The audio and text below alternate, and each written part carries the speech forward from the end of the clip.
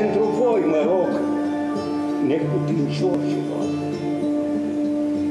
pentru voi îmi tocesc oase și ultima picătură de sânge, pentru voi mi se scurge din carnea mea cea bătut.